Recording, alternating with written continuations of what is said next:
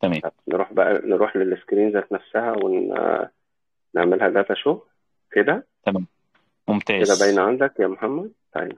آه ممتاز. نرحب آه بحضرتك يا آه. دكتور أحمد آه، ونتشرف إن حضرتك تلقي علينا المحاضرة جلوكوما درينج ديفايسز طبعا دكتور أحمد مصطفى عبد الرحمن غني عن التعريف أستاذ طب وجراحه العين بالقصر العيني آه، ورئيس الجمعية المصرية لتعليم الطب المستمر في طب وجراحة العيون اي جي اس كيو اي ونتشرف بمشاركته معنا في الرماديون وبهذه المحاضرة المتميزه في الجلوكوما أهلا وسهلا بحضرتك يا فندم. الله يخليك يا دكتور محمد. بهنيك على المجموعة الهائلة آه، اللي هي يعني أبهرتني والله على المستوى الشخصي بالحفاظ على ال continuous activity continuous positive activity. آه، أنا بهنيك والله جدا جدا جدا. متشكر حضرتك. Uh, if I'm going to start uh, يمكن أحب أن أنا أعزي زملائنا الأعزاء طبعا في المغرب وليبيا آه، يعني قلوبنا معاهم فعلا ونرجو أن ربنا سبحانه وتعالى يكشف الغمة ويتقبل الشهداء ويرحمهم يا رب ويصبرهم ويعني آه، ندعو لبعض إن شاء الله دايما بإذن الله. Uh, today I'll go through the glaucoma drainage uh, devices. Um, uh, the rest of the title is um, sharing the experience. Uh, my aim is not to review the books, what's written in the uh, in the chapters and books is present everywhere. Just uh, letting you know what I really do uh, at actual practice. So it will be divided into two parts. The first part, some basic information, then uh, some cases, uh, complex cases and uh, complications. Uh, if I just feel that uh, you still uh, so so um, this was the glaucoma drainage device that I did uh, 25 uh, years ago. And if you see, it is uh, an encapsulated um, plate, and the plate is very anterior, and you can see the tube here is short, and the cornea is decompensated. Um, because of uh, those uh, pictures which I used to see 25 years ago, I refrained from using the valves for quite long period of time, and I thought that the complication rate of the valves is quite high unless some adjustments are done. Uh, and we published on that uh, together with uh, Dr. Hala Al-Hilali on the complications of Ahmed valve, um, in particular in the pediatric age group, and the complications were a lot. That's why I just have a kind of concerns about the implantation. Uh, but what happened recently, I'm going to let you know what happened recently. Generally speaking, the idea of the valve is to have a tube inserted inside the anterior chamber, and this tube will drain the aqueous into the episcleral uh, space where there is a plate, and then the aqueous will flow around the plate. And then from this area around the plate will diffuse into the subconjunctival and some and sub-Tenon's space. This episcleral plate is firmly sutured to the sclera and gradually will be covered by a thick flap of tenons and conjunctiva. And it is the size and permeability of this fibrous capsule will determine the flow of the aqueous from surrounding the, the, the plate to the subconjunctival space and will determine the level of the intraocular pressure. So what happens is that the aqueous moving through the tube and then around the plate and then through the wall of a fibrous capsule, periplate capsule, into the surrounding space. Now this movement of the aqueous will control the intraocular pressure. And this fibrous capsule is formed between the fourth and sixth weeks. These are the common implants available, the valved implants, or what's known as the flow restricted implants, where there is a kind of a valve or resistance to the flow of the aqueous. And the famous one is the Ahmed glaucoma implant. And the recent uh, designs are those with the flexible plate 7 and 8. The body is formed of silicone, which induces less reaction. And the FP7 is basically for the adults and 8 is for the pediatric age group. For the non-valved implants, the most common is the Baerveldt, uh, or there is an Indian version which is called the Aurolab. and this is a non-valved implant and available in two sizes.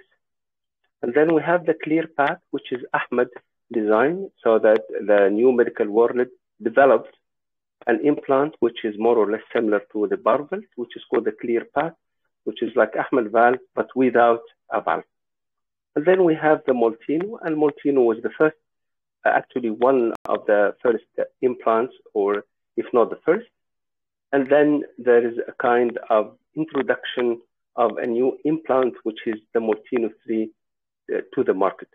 So actually what's available around us is Ahmed valve, FP8 and FP7, and we have the Baerveldt implants, and we have the clear path, and we have the uh, implant. And this is the demonstration of the clear path Ahmed, which is non-valved implant. And for any non-valved implant, we need to occlude the lumen in the early post-operative period to avoid hypotony.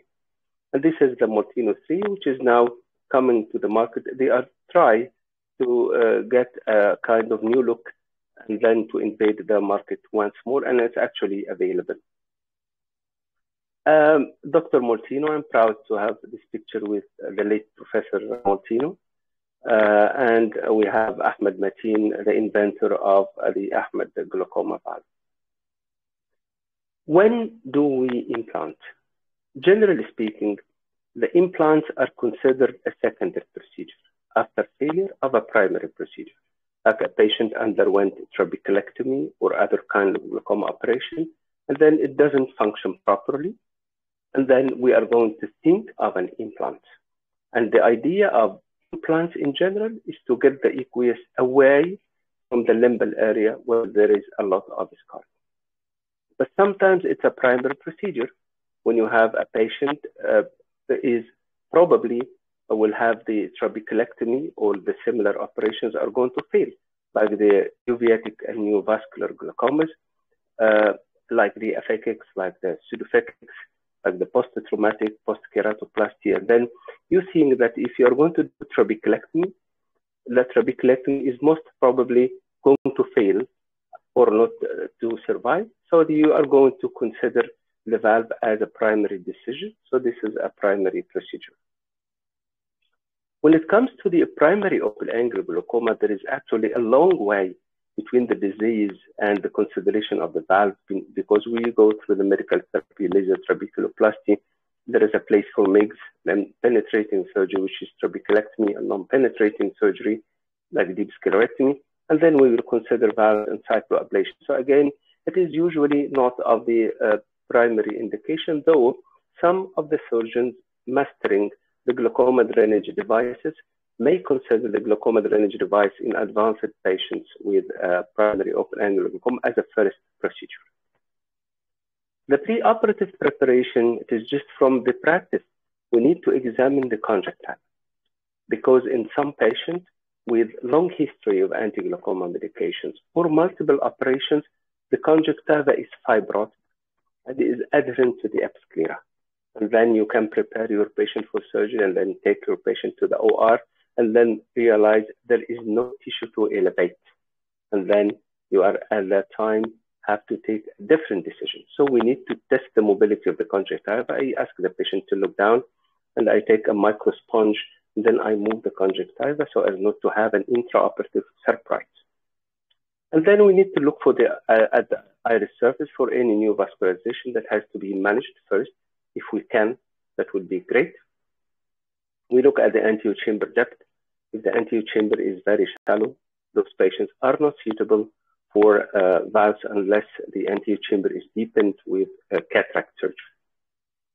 The site you are planning to put the tube, please do gonioscopy because sometimes those parts are having peripheral anterior synechia. And when you go for tube insertion, you can push the iris and you can get bleeding from this area. So please examine the site of insertion. The condition of the lens is very important because if your patient is pseudophakic, then you can place the tube in the sulcus It is not necessary to be in the anterior chamber. Or if the patient is having cataract, you can do a combined surgery at the same time where you remove the cataract and you place the implant. So in this patient, you can see the conjunctiva is totally scarred. There is no tissue to elevate. Then there is no place for glaucoma drainage device, and you can go for something like cycloablation, even if there is a good vision in this eye. This is another case, and you can see the conjunctiva is totally fibrotic. There is no tissue to elevate. There is no place for a valve here, but you can go for, for cycloablation, which is a very, very good uh, alternative, and it's a very, very good weapon at your hand at some uh, situations. The anesthesia, there are no specific requirements for the uh, anesthesia, but usually topical anesthesia is not sufficient and it's left for the choice of the surgeon. So when it comes to surgical technique, we place first a corneal traction suture because this will help in exposure. This is 7 0 micron suture and take it as deep as possible so as not to tear through the cornea. And then I use the mark. This is, this is the superior temporal quadrant, which is the most common quadrant used for the implant. Next common quadrant for insertion will be the lower nasal quadrant. And then I mark the side, the side of the lateral rectus and the superior rectus. And I know this is the area where I'm going to place my implant. And I do a generous uh, fornix-based conjunctival incision. You can see this patient is pseudophakic, which is a very suitable case for glaucoma drainage device. In the old days, I used to hook the recti so as to give myself the best exposure. But nowadays, I don't do that, and I don't I don't need that actually. With the corneal traction suture and proper traction, you can have a good view. The next step is that I take the caliper and I mark 12 millimeter. The classic insertion site of the implant is usually 8 to 10 millimeters, so it's usually the anterior border is here. But actually, in the technique that I prefer, and I, I actually will show you this uh, shortly, I like to get the implant even more posterior, as posterior as I can. So I mark 12 millimeter, and then you can see the 12 millimeter, and then I'll divide the 12 millimeter into 3 millimeter areas. So 3 millimeter, 3 millimeter, 3 millimeter, 4, 3 millimeters. And then I'm going to use the crescent, the small crescent, which is a very, very, very good instrument for scleral dissection. I'm going to make a mark here in the sclera, incision in the sclera. The first is 3 millimeter, and then the next incision will be the next 3 millimeter, and then the next 3 millimeter, and then finally the fourth one. And what I'm going to do is going to do tunnels. So every tunnel is almost 3 millimeter. So taking care while dissecting the sclera, I think those of you performing um, a band and retinal detachment surgery are quite comfortable with the scleral dissection. Extra caution should be um, should be exerted by the beginners because yes, the crescent blade is very good, but it can penetrate uh, the eye um, if you are not cautious. Uh, I use the uh, second instrument just to depress the sclera and to allow the exit of the uh, crescent. So again, this is the first tunnel. And then, so this is the first tunnel, the second tunnel, the third tunnel. They are all dissected in the same way. And then the large part, I make it like a flap. I know there are some techniques which you can put the tube through a tunnel, but then actually I found that the insertion of the tube through the tunnel is difficult, at least at my hands. Therefore, I decided to make a flap, or I can have it like a trap door so that I can cut it like this, leaving one border intact, and I suture one corner at the end. Anyway, I need to put the tube under direct visualization. Then when I have those three tunnels, I'm going to place the uh, sutures for the plate. You can place those before putting the plate. So this is um, pre-placed sutures. The, suture, the suture here is non-absorbable. Use non-absorbable. I know there are some schools they use absorbable sutures, but I think the safety of the non-absorbable sutures cannot be uh, overemphasized. Uh, uh, this is 5O uh, Ethibond, which is non-absorbable, and the needle is a spatulated needle. And any needle we, go, we are going to um, pass through the sclera, please make it or use the spatulated ones because um, they have less chance of perforating the sclera. And then this is the loop of the suture. This is a pre-placed suture. And then we get the valve. We do what's known as priming. By priming, we inject through the tube, and then we will get the fluid coming from the surface. And once we see the fluid, this means the two membranes or the valve mechanism, the two membranes are now separated from each other, and the valve is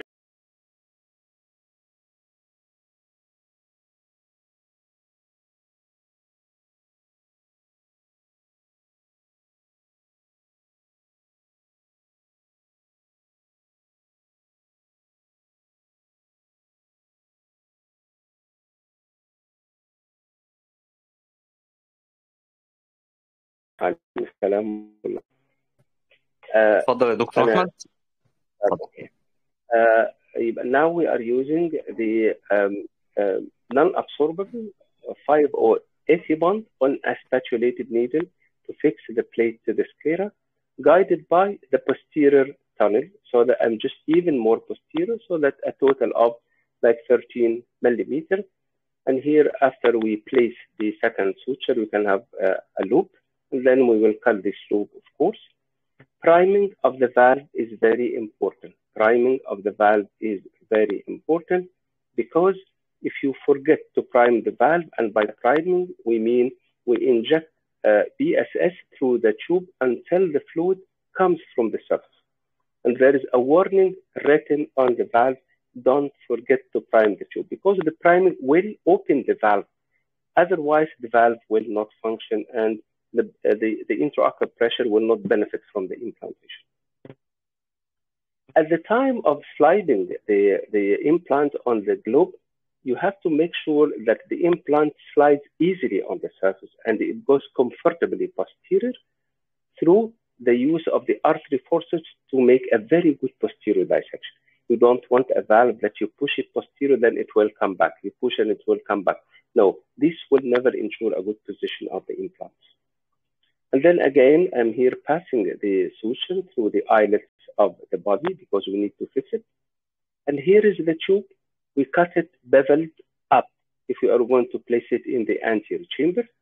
And then we will thread, we will pass the tube underneath the scleral flaps, below the first flap, the second tunnel, and the third tunnel. So in this way, I'm having like a long continuous tunnel, but interrupted because there is no way to make a long tunnel that is nine millimeter through one cut. So here is the tube. Those tissues will get approximated, and then you will feel the tube as placed inside the sclera. And believe me, this is one of the points that made my life very happy is to hide the sclera and the plate posterior. And now you can see the plate is beautifully secured. And then the tube is beveled if you are going to place it inside the anterior chamber. And then you are going to place the tube inside the anterior chamber using a 23 gauge needle. What I do in practice, I do a paracentesis incision, and then I inject Healon in this area to make it deeper. And then at the time of insertion of the tube at the limbus, make sure that the needle will pass parallel to the iris or better to go more deeper towards the iris so that looks if you're going to touch the surface of the iris. The idea here is to avoid having the tube near the cornea to avoid loss, uh, continuous loss of the cornea corneal endothelium. So the entry into the anterior chamber is very critical to be away from the back of the cornea. What will determine the direction of the tube inside, inside the anterior chamber is the direction of penetration with your needle.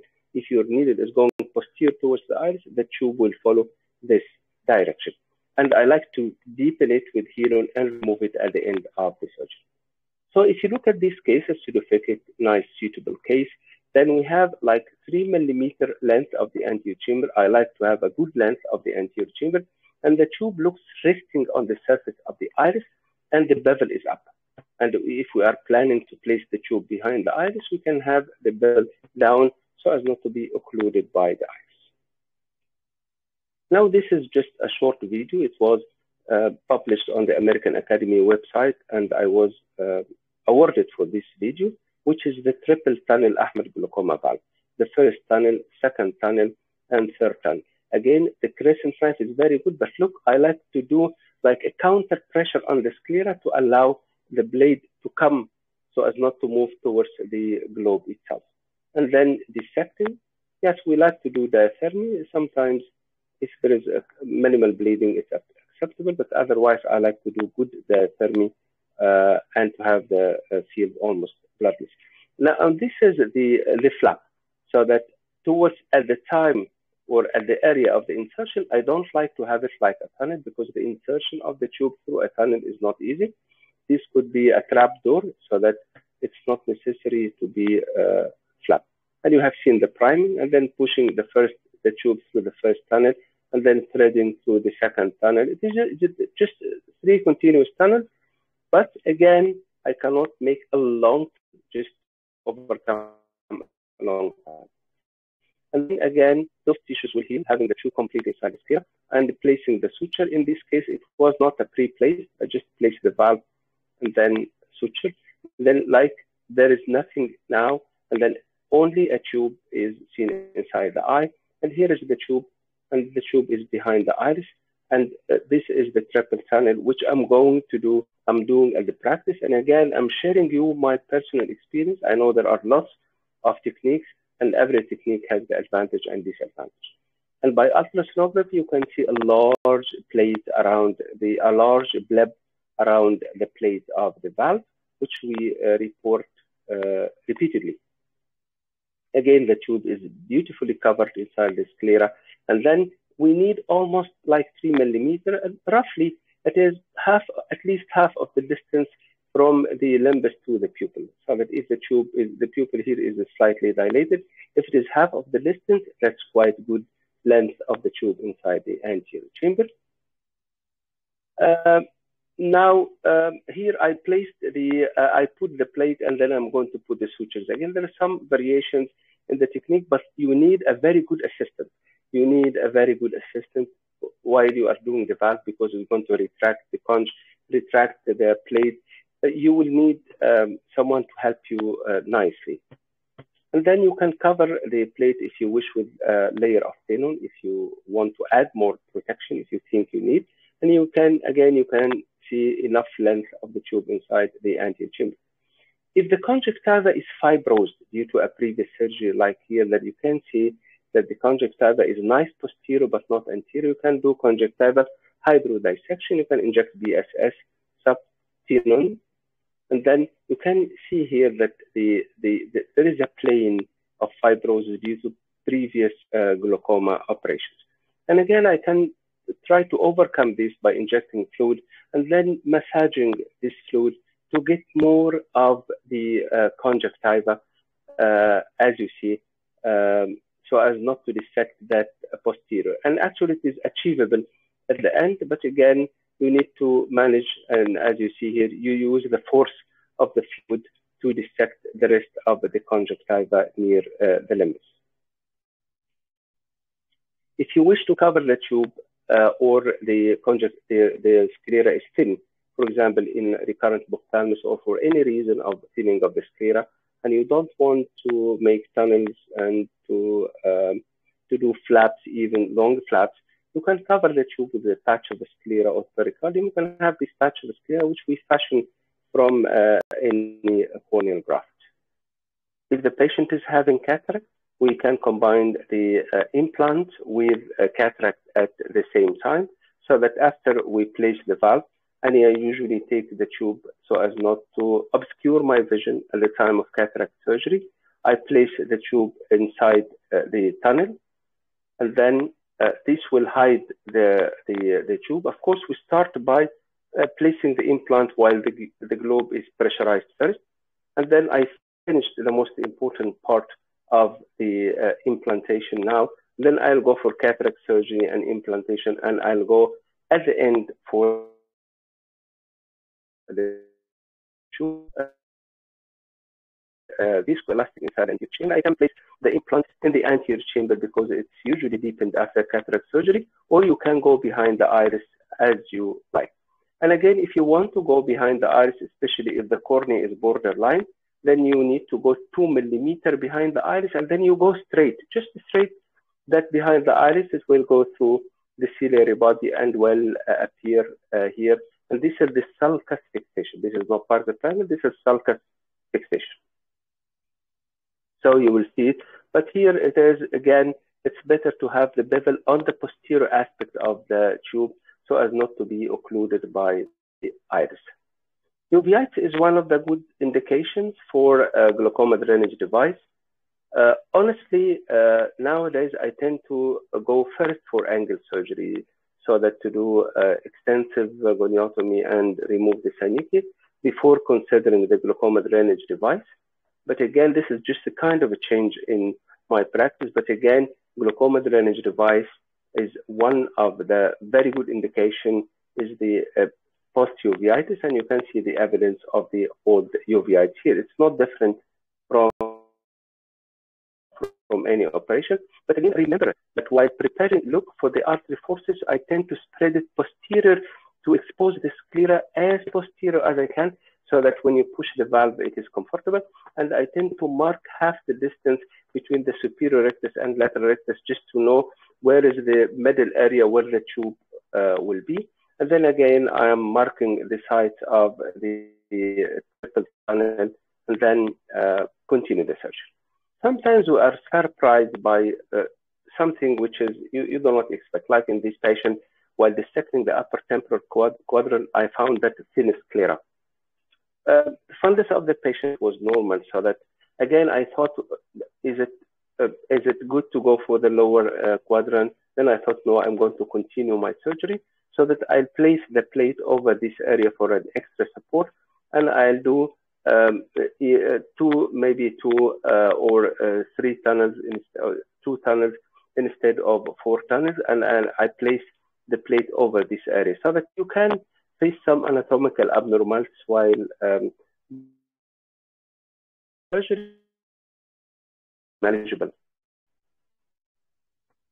So this patient was again a difficult situation. Now I'm I'm I'm placing I'm just marking the eye and then look at the area of the equator. This is equatorial kind of equatorial staphyloma or pigmentation. So I, I know this is a, a frightening when you see this, especially for the first time. But I found this is some of the anatomical variations you can find this. But again, you can think why not to uh, implant. But uh, I'm not I'm not going to dissect or to make tunnels over this area, but I still can just place the plate here and make tunnels anterior. So again, uh, prepare yourself that you can face some something, but again, they are all uh, manageable. But in this case, there was an actual staphyloma in the superior area. So there is no way here is to put an implant. The sclera is so much uh, thinned out. And again, what I'm going to do is just to make use of the rest of the uh, the rest of the uh, space. I'm going to go to the lower nasal quadrant. So the first preferred quadrant is the upper temporal, of course. Then if not, you go for the lower nasal quadrant. It's again not difficult to implant here. It's, it's like the superior, the upper temporal uh, exactly. In the buphthalmic eyes, as you see, prepare yourself for thick tenon so that you're going to encounter thick tenon and you may cut some of this tenon. But again, the, the technique is the same. And even in the buphthalmic eye, you can make uh, tunnels, triple tunnels. And again, this is the flap that I'm going to place the tube underneath the flap. And in this technique in particular, I don't need uh, coverage to the tube like I'm going to use um, uh, sclera or I'm going to use a pericardium. Okay, usually um, I don't need anything. The tube is inside the sclera.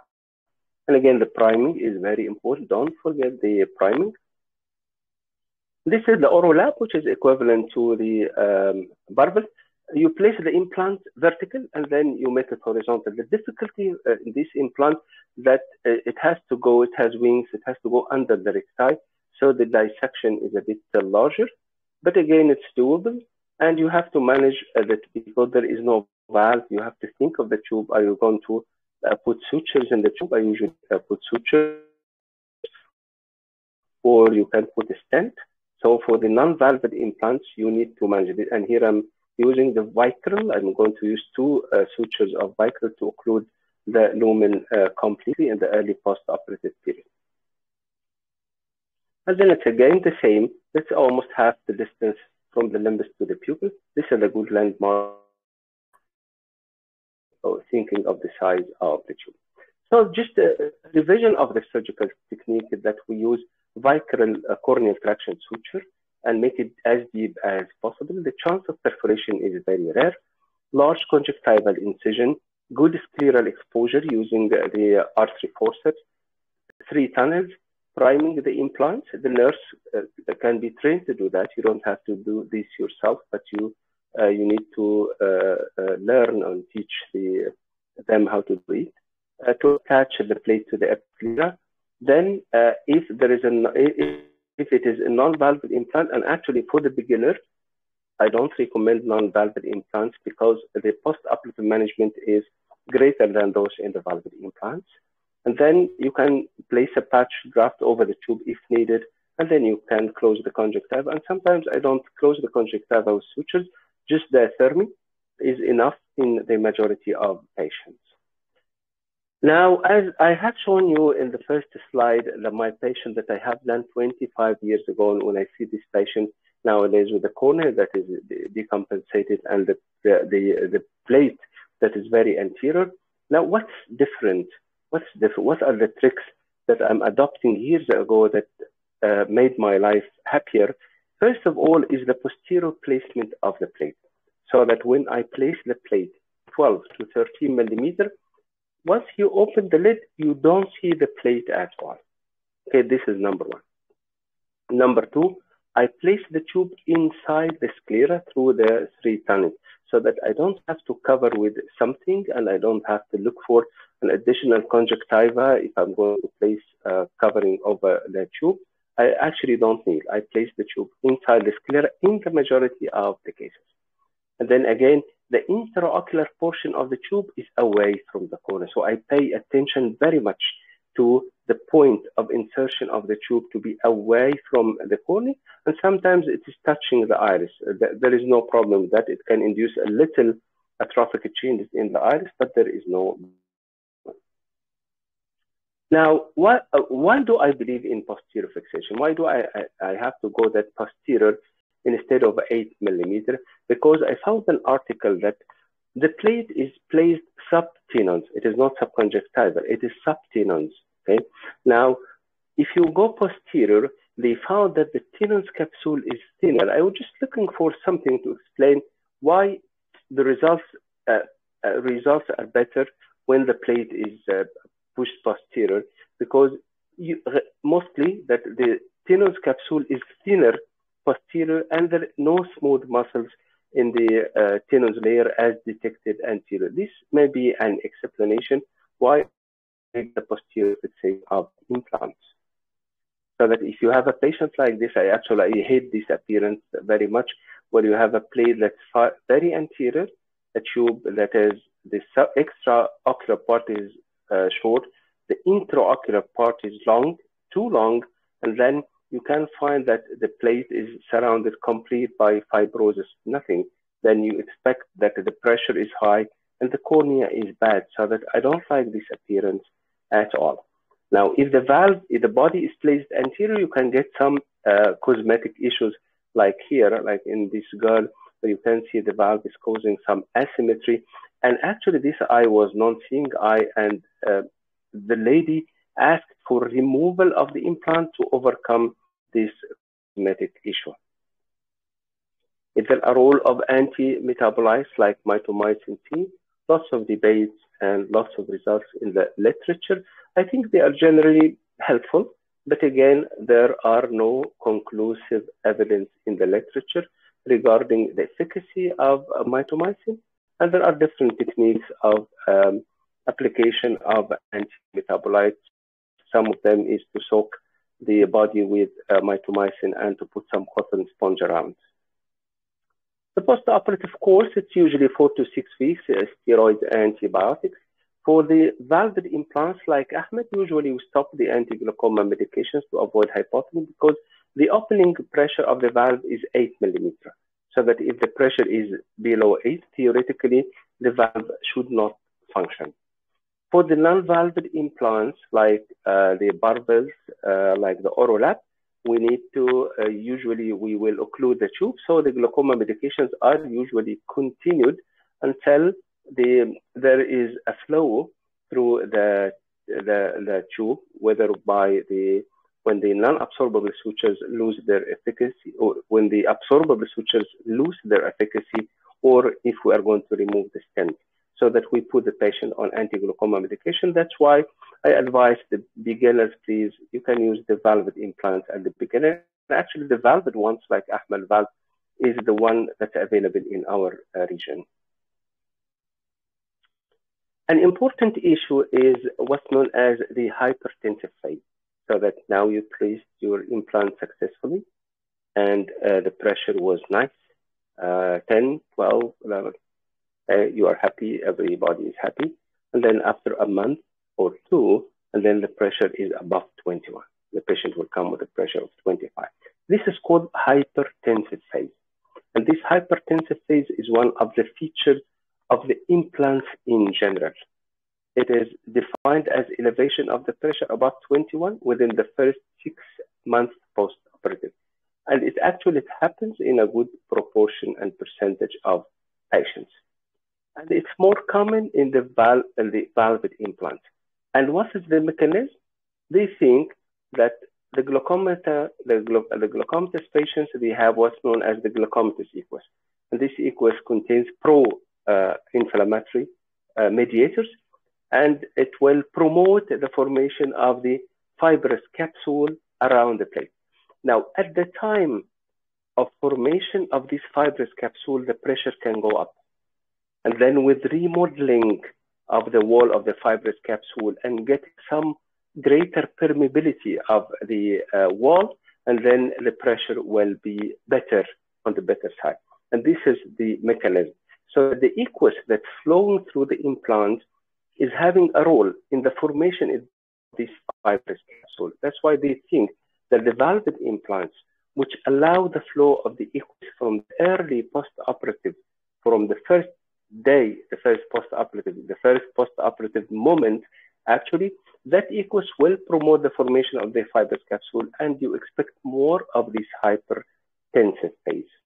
And this is part of the, you, you have to know this because this is part of the post-operative management how to manage this hypertensive. And actually, there are lots of work around this, like are the anti-metabolites effective or not? Some studies with, some against. Uh, if we're going to resect the Tenon's capsule at the time of uh, implantation, will it be helpful or not? Maybe, nothing conclusive. Um, some injection of uh, long-acting steroid sub-Tenon, some of the suggestions again. Some work on the supratenon implantation of the uh, implant, which is technically uh, very difficult. And then uh, these are some common issues which you can practice is to use the aqueous suppressants in the early postoperative so that you don't want more aqueous. That's why there is a tendency to use um, aqueous suppressants even if the pressure is adequately controlled because there is um, a theory that if you are going to reduce the aqueous, this will probably reduce the thickness of the fibrous capsule, periplate fibrous capsule. So, and actually, that's what I do in practice. If the patient is having pressure 12, 13, um, I, I, say to the patient, we are going to use aqueous suppression in the first three post-operative months. And then another important point is to do an ocular massage, because if you do an ocular massage uh, through the lower lid, will push more aqueous through the tube, and then you will push more aqueous around the plate, and then will push more aqueous through the wall of the periplate capsule, it can do something good. So then actually what I do if the patient is having uh, actual high pressure, I advise for massage and then um, I use aqueous suppressants, and I you can you if you want to use some steroids, if you see lots of reaction, you can use as well some of the topical steroids. If you find uh, um, a Tenon's capsule, sometimes Tenons develop around the plate. Uh, you can do needling, there is no problem. But actually, I play very little with the valve um, if the pressure is high in the post-operative period because I know there are some reports on the needling and in excision of the periplate fibrous capsule, but and actually in practice, I found that most of those procedures uh, will result in a temporary effect. But anyway, if you see um, if you see a tenons, but I actually I don't see tenons because the plate is very posterior. But if your plate is anterior and you can see an actual tenon, you can go for needling of this tenon. And actually, one of the suggestions which, which I have heard uh, at the American Academy, it was the uh, conference of the um, of the uh, of the company itself. Uh, they recommended repeated mitomycin injection in the vicinity of the implant, but uh, I didn't read uh, this article. now, if the pressure again is high and out of control, and that could happen, the patient received one implant and then it doesn't work, and then another implant, and the patient is actually affected.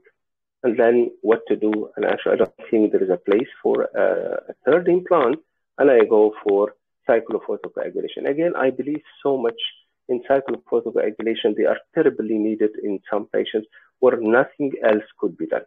And for this patient, I did micropulse, and then I supplemented with another uh, session of micropulse. But again, you can face this situation and you need to decide on what to do. So by this, I just um, concluded the basic aspect.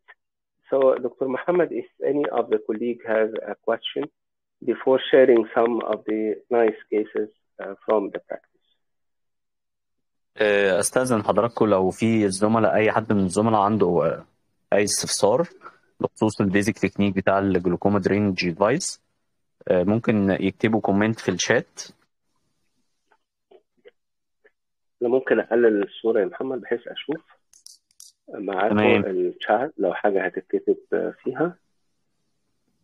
أنا عندي بس الريكورد از جوينج اون أوكي هروح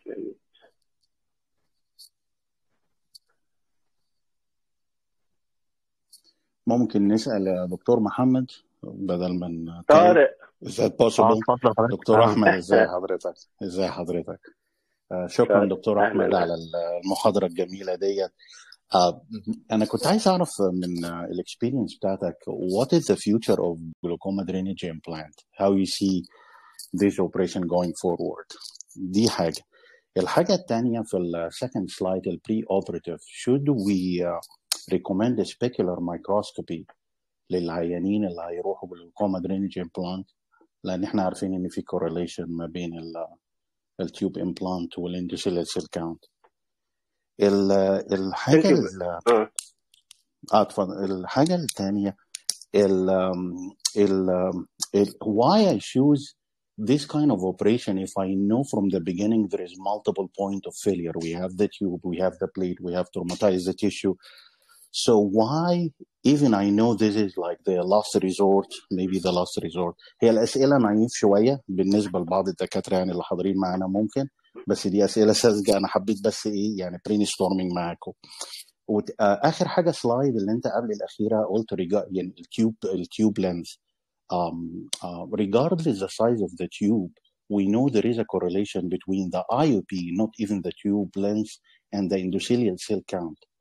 So the point is, why all of this traumatizing operation from the beginning? وشكرا دكتور أحمد وفورجيف مي يا جماعة لو الأسئلة كانت ساذجة شوية للبعض شكرا لا يا طارق دايما أسئلتك م... لا thank you very much يا طارق طارق يعني is, uh, is a dear friend and he's so much concerned about glaucoma and he thinks that glaucoma uh, Uh, is one of the mysterious problems.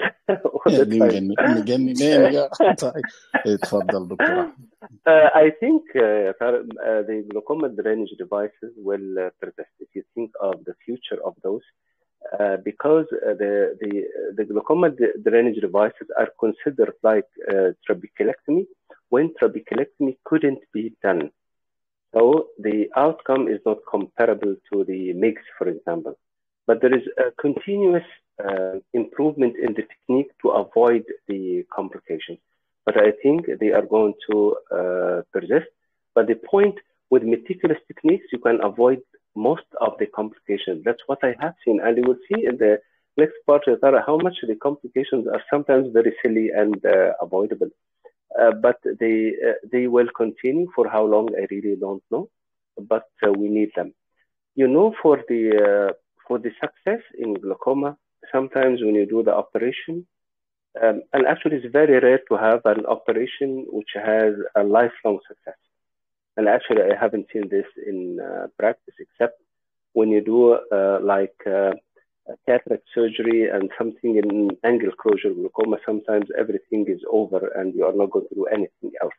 But for the most of the uh, glaucomas, uh, they might need second intervention in like five years, for example. So that which which is considered something good uh, as well. So this is for your first question. For the second question, um, yes, the studies have shown uh, like um, some like 6% loss of the endothelium annually. Some of the studies have seen uh, this. Um, but uh, I think with the, if you think that the cornea is not that uh, friendly or is going to suffer, there is a chance that you can move the tube uh, to the sulcus so that to get it away from the cornea to minimize the loss of the endothelium. And of course, technically, you can uh, avoid this complication or to can minimize this if you avoid getting the tube in touch with the back of the cornea. Yes, it is a known complication, but it is it is not significant to the extent like CyPass, for example, to withdraw from the market. Okay? So that yes, it could happen on the long term, but again, uh, you really don't know if an implant is put after 30 years, for example, what will happen. I really don't have personal experience uh, with this uh, situation. But I can see that diseases, for example, like congenital glaucomas, even without putting a valve, they are going to have their corneas decompensated with time, even if you don't put an implant. So that some of the diseases, they progress to this decompensation uh, spontaneously. Uh, the other uh, concern, uh, Yatar, is uh, uh, you said is the specular microscopy is a routine of the is a routine pre-op. I really don't know that it's a routine uh, pre-op unless you suspect something clinically. But for every patient to have a routine specular, I don't think this is the practice.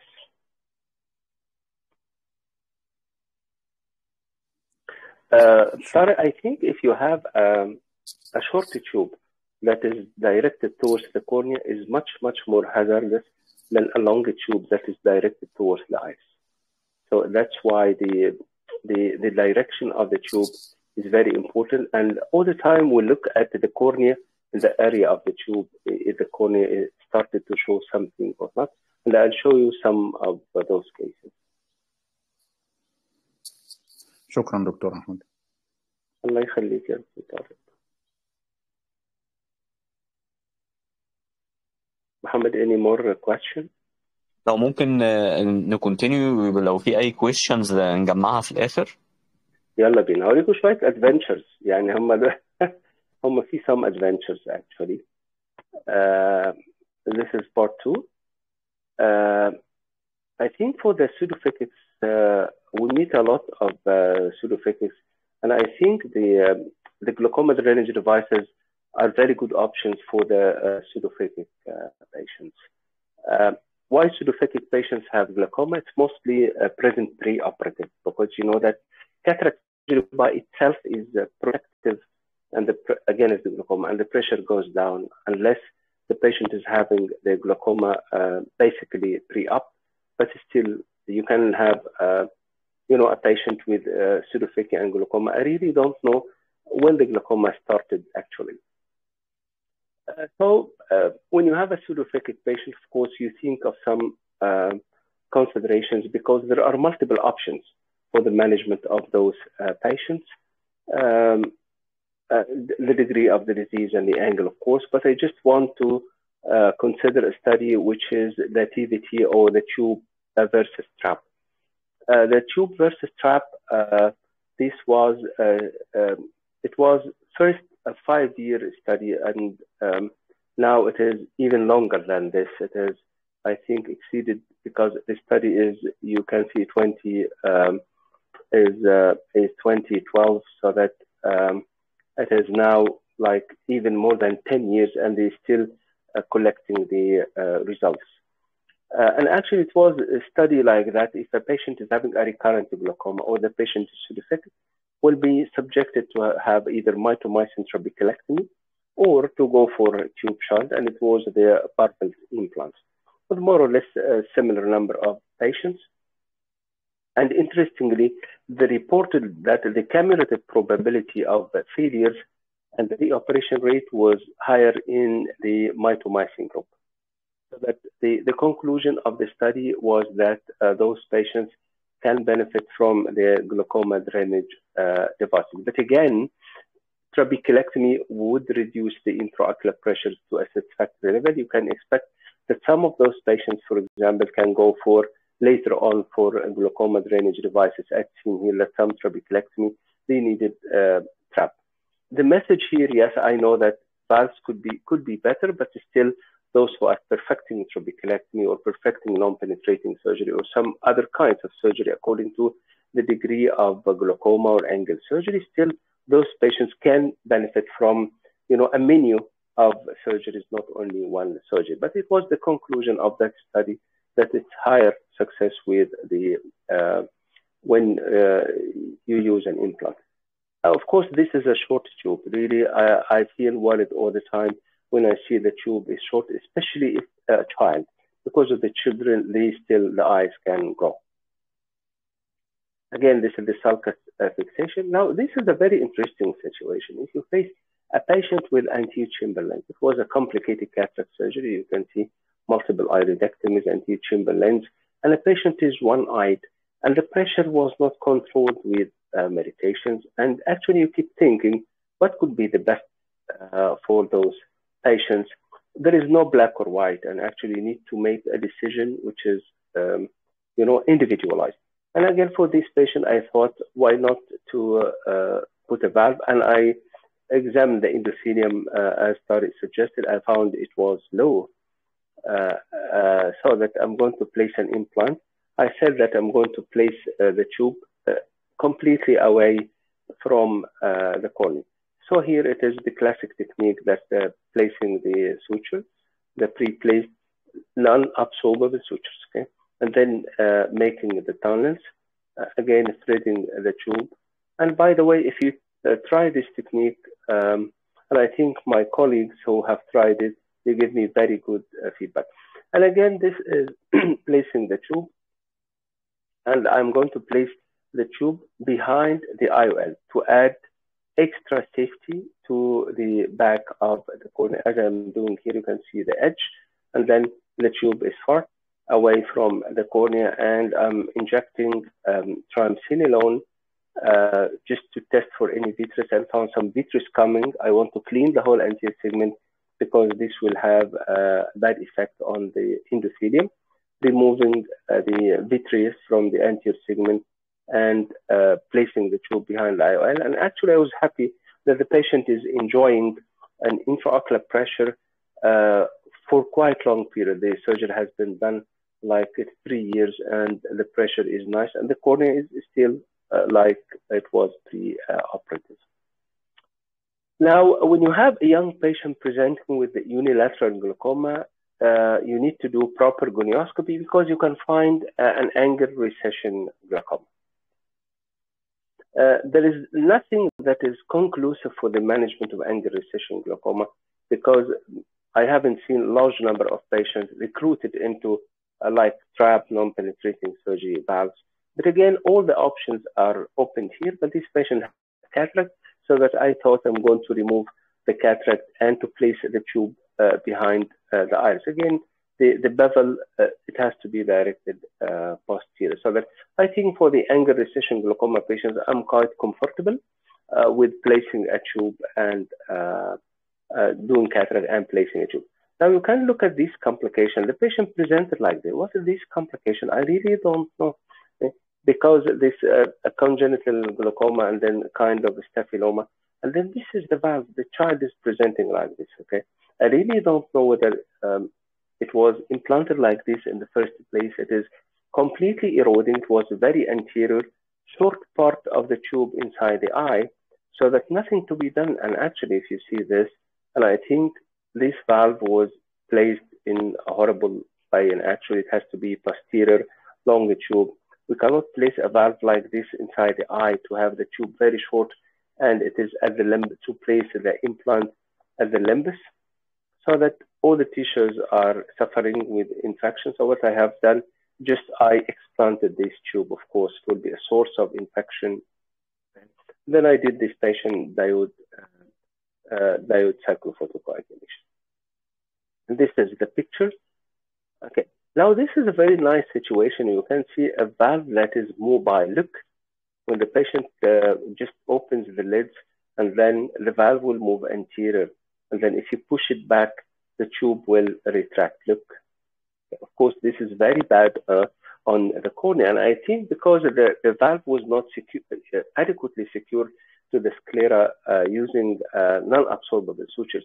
So the idea here, I need to manage this situation and keep the valve working because the valve is really working, but it's hurting the cornea with every movement. So what I'm trying to do, to, trying to make something which is tailored to the patient. So trying to expose the tube. And by the way, uh, the, the, amount of fibrosis around the valve is uh, really very heroic. So what I'm going to do here now, just cutting the fibrous capsule, and you can see how the capsule is thick, and then I'm exposing the body. And this is the capsule that controls the permeability of the implant responsible for the hypertensity. But here, what, what, what do I want to do is just to fix the plate adequately posterior. I don't want to lose this implant. And then through the holes, the fibrous tissue will migrate through the eyelets of the implant. I'm going just cautiously so as not to cut the tube. So again, trying to just remove the the the expose the the implant cautiously because I want to create a space and then to resuture this no sutures at all so that it was left sutureless. So not not not even absorbable suture it was left sutureless. So there is no way to do this. So I'm going to push it posterior and secure it to the sclera as you see. And then uh, you know that I'm just going to uh, manage the, the, the capsule. I want to cut this ex excess capsule without cutting the tube. So trying to be cautious uh, all uh, the time. Uh, during the maneuvering the valves, I used to feel the anterior chamber with Healon. So what happened, I think it completely came out of the eye. It was the pediatric side. And then this is the first time to see the plate. Again, it's nice to see the periplate fibrosis, very glistening, very different tissue from the tenons and from the uh, the any tissue here. It's a very glistening, very soft, and this is the capsule that forms around the body. So what I'm going to do here is just, I know it, it is a kind of uh, different management, but I decided to do that because um, and actually, we came to a, an era where the valves were not present. So every valve counts. So again, I'm cutting the posterior wall of the fibrous capsule. Sometimes you cannot remove the posterior wall uh, completely. And I'm here exposing the, sclera. And then I'm reinserting the implant through the defect in the posterior wall. And now you can see it's going to slide posterior comfortably and then I'm going to suture to the sclera, I'm going to reinsert the tube again. So it's a kind of, you need to invent something because you can make it easy, like for example, cutting the tube from inside of the eye and then thinking of something for the glaucoma. Here I decided to make use of the uh, implant. Now in the pediatric age group in particular, when the eye grows, there is a possibility that the tube will retract And if the tube retracts, sometimes it gets outside the eye and then the effect is gone. So for this, and actually it was, uh, it is an economical Ahmed glaucoma valve, excuse me, it is tube expander. What is this tube expander?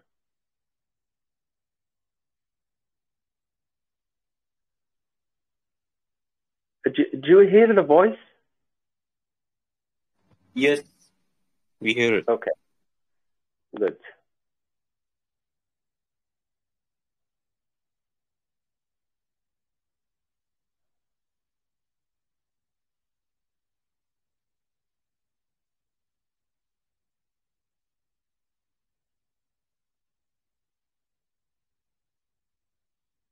آه، كده الفويس نوت وركينج Not working. Okay. What what I'm do what I'm doing here actually is that uh, I'm going to get a segment from the the tube and then to use it as uh, uh, something to lengthen the the the the short tube. So the tube was retracted in this uh, boy, and then I got it. I exposed, and now I am going to place another segment from Ahmed glaucoma valve. Okay. Okay, good. This is another segment from another valve. Good. So in this video, just the sound is disturbing me. It is uh, when you have a tube that's retracted outside the eye, there is a tube expander. Uh, you can connect and then reinsert the tube, but most of the surgeons do not like because it is bulky. So that I thought of getting another segment of the, an old valve because you used to cut segments from the tube and then you can keep those segments in case you need them. And then you can thread it into the segment that or the, the tube that is short and then you can get an extra length. And then this video actually was published on the American Academy as uh, something that is very economical. But the difficulty comes is that how to get two tubes inside each other and they are of the same diameter.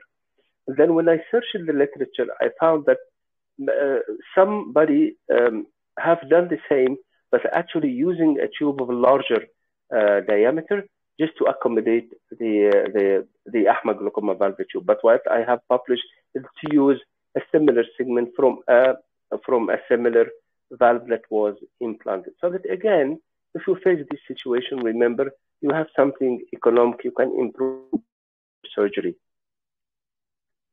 Uh, this is an Iraqi patient. Um, he's a doctor. He had congenital glaucoma, and you can see half his right. And then he presented with significant cataract, and the tube was very near to the cornea. And that was implanted long uh, time ago, and you can see the coverage of the tube. Now the situation is that, and actually the the tube is functioning, but again the overlying cornea is suffering. And what I thought of now, I'm going to prepare the. Now you can see the direction of the tube and then a line of scarring here. Then I finish the cataract. The cornea could allow for reasonable visualization to place the lens. And then the tube here, I'm going to cut this tube short so that sometimes we need to cut the tube short if we have an extra length, especially if it is touching the cornea.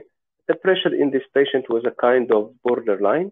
And then, um, um, yes, it was controlled, I said, with medications, but why not to help the valve by injecting through uh, the tube um, to help more flow through the valve? And I have seen this patient actually uh, uh, two years after the operation. He is now with us, uh, visiting us uh, at Cairo for keratoplasty.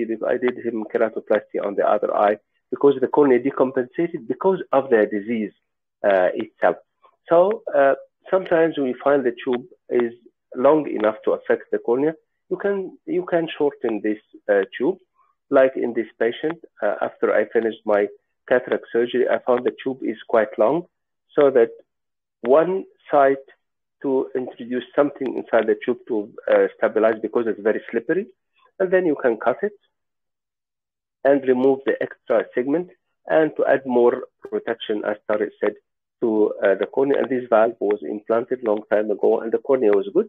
but we need to have more protection because the tube was uh, in not very um, accurate. Now we can have tube exposure. I know this this is a real nightmare. This is a real nightmare. If you place because there are some techniques that place the tube in, deep to the conjunctiva and tenon, and sometimes they don't put anything. They just put tenon and they can uh, put some suture on the tube. Uh, some of those tubes might erode. If the tube erodes, then an infection is going to happen. Unfortunately, the infection can extend intraocular, and I have seen a few patients with this. So that exposure of the tube is not something um, is not something simple. Has to be managed, and actually, you need to, uh, if you think uh, that you are going to um, re-suture the conjunctiva above the tube, it will um, it will definitely uh, re-erode again. So this is not the solution. So for this patient, you know, he's starting infection and just I need to manage this. Uh, so and that was uh, the situation, or even a similar patient where the tube is exposed, and then some of those patients they start to develop even coagulum inside the anterior chamber. So here I'm thinking I'm going to, if you want to manage this situation, that the, this necrotic conjunctiva and this open conjunctiva has to be removed. We need to change the the whole atmosphere, and sometimes we rechange the direction of the tube, remove the tube from the whole area. But for this patient, I thought I'm going to cut this necrotic conjunctiva. I'm going to have more exposure of the tube actually. Still, the infection did not extend intraocular, still possible to control. Uh, then I didn't get the tube out, but I'm going to cover, I'm going to apply sutures to the tube to have the tube uh, more uh, more conform to the ocular surface instead of being uh, convex. Uh, those sutures are not very tight to occlude the lumen of the tube, but just sufficient to make the tube stable on uh, the ocular surface. Uh, then after doing that, I'm going to get a scleral uh, patch graft. And then I'm going to um, cover with, I'm going to free the conjunctiva from the uh, surrounding tissue and then uh, cover again. So here the tube is no more exposed. There is no direct contact between the tube. You know, this is not easy. We need to apply dissection and sometimes we do release incisions superiorly. We have a lot of conjunctiva to use it. We cut the conjunctiva and not the tenon, but eventually it is doable. Uh, you can do it. You need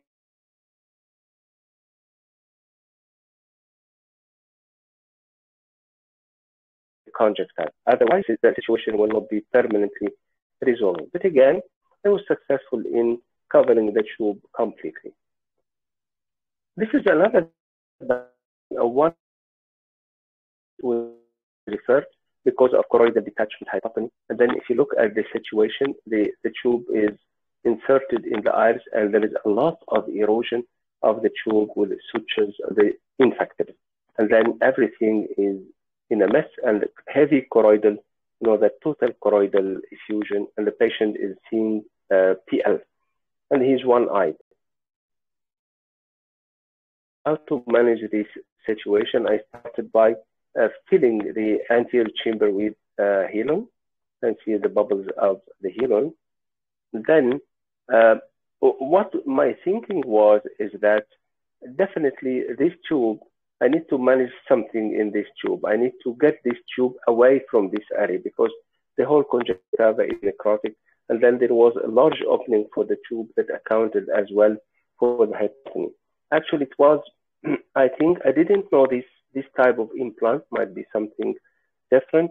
But um, again, um, uh, what I'm going to do is that after I pressurize the globe, and you can still see the reflex of the choroidal uh, detachment, just to make uh, a long story short, I'm going to get this tube and reinsert it somewhere else. So that I'm going to create a tunnel somewhere else for this tube. And then I'm going to suture the whole uh, area.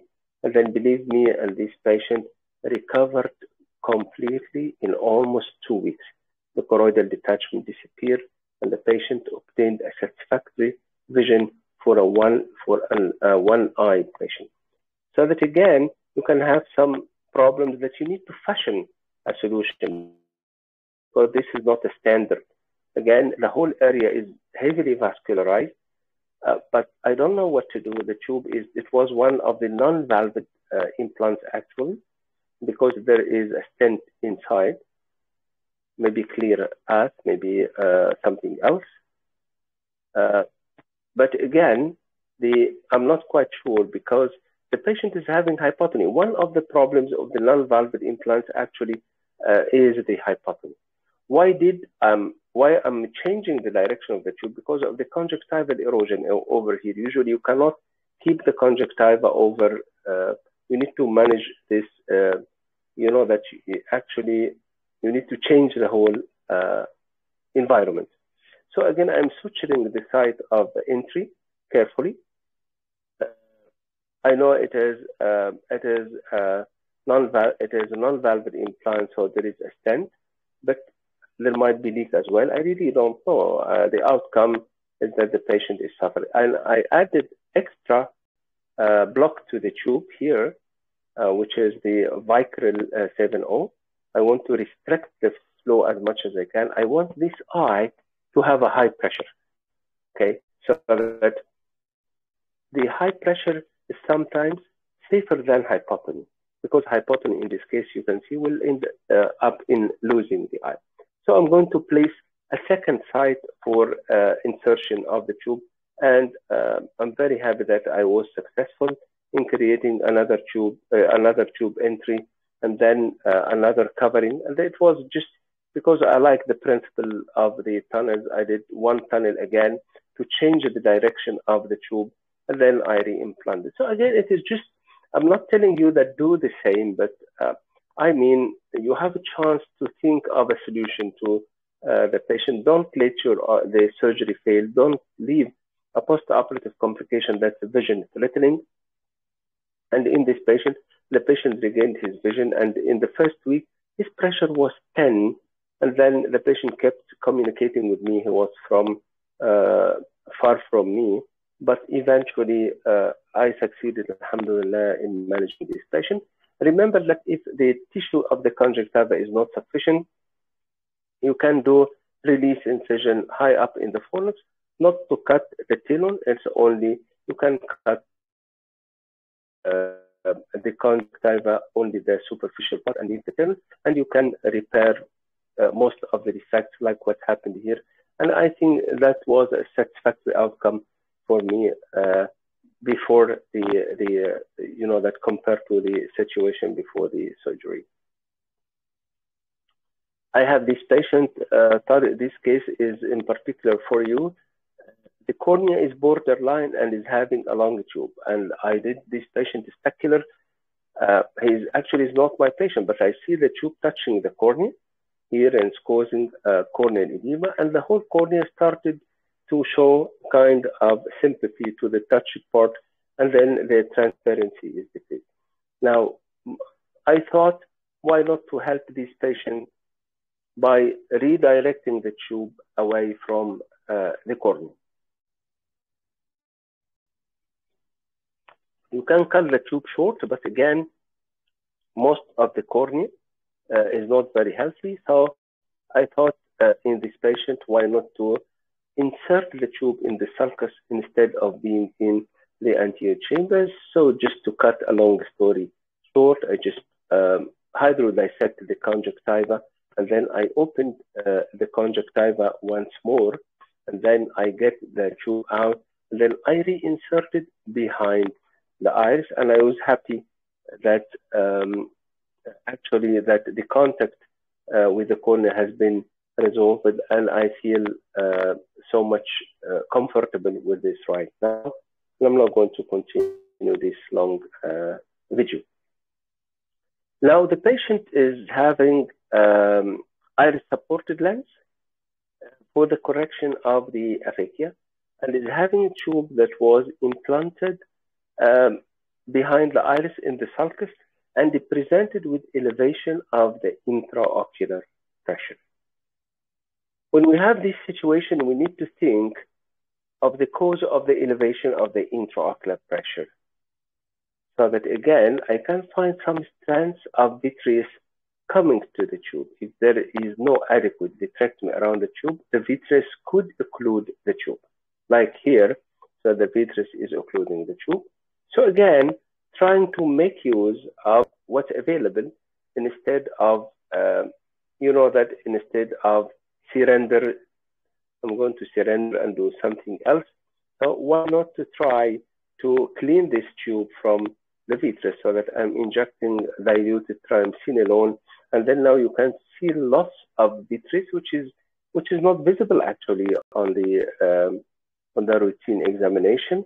Then I'll go with the ocutome and completely clean the tube from the vitreous, and uh, this valve was actually saved because you can see a lot of vitreous uh, occluding the tube. So again, if you insert the valve and then you find the pressure is high, yes, there is a hypertensive phase, but still you can find um, some rare finding, interesting situation that needs specific treatment, like in this patient. I just did like uh, most of the, you can do like uh, a vitrectomy uh, up to or down to one third of the globe. You can remove the the anterior one third of the vitreous cavity through an anterior approach, and I was successful in completely cleaning the tube in uh, this patient. Now, this patient is one in uh, and uh, in this patient, I think we're coming uh, close to an end. Uh, the patient had previous trab and failed. It was angle closure glaucoma, and we don't do trab for angle closure glaucoma. Anyway, underwent trab, failed, and then he presented with cataract, and I did this patient cataract surgery and valve implantation. Actually, the implantation of the valves in patients with angle closure is not easy because the whole orbit is shallow, not only the eye. Now, what happened? The patient came in a couple of days with pressure of 55. And this is the old trabeculectomy. And then this is the site of tube insertion. And I really don't know what happened to this patient. We were like at um, 11.30 p.m. and then for, very late and he's one-eyed patient and the vision dropped to hand motion or even less with this very high intraocular pressure. Then I kept thinking, what happened to this patient? The patient is having hyphema, uh, clotted blood occluding the pupil, but not completely. It is uh, not completely occluding the pupil. There is generalized shallowing of the anterior chamber. Then, as you can see, yes, but there are some areas here, actually, but the patient at the same time is having a patent iridectomy. So what happened to this patient? Of course, it was very late, and I need to solve this patient. I know that you can think of the possible uh, diagnosis. محمد حد ممكن يفكر في possible diagnosis in this case? لو أمكن آه، الزملاء حد يشارك معنا حد يشاركنا patient عنده generalized shallowing of the anterior chamber, patent iridectomy after a valve, after a valve in angle closure glaucoma. What are the possibilities? Pupillary block مش واردة قوي هنا عشان في we have good patent iridectomy. malignant glaucoma ممكن نفكر في malignant glaucoma صح لا إجابة ممتازة خاصة ال ال العيون بتاعت الانجل كلوجر glaucoma generally are prone to angle closure glaucoma but uh, uh, I never saw an angle uh, an, a malignant glaucoma after a valve okay?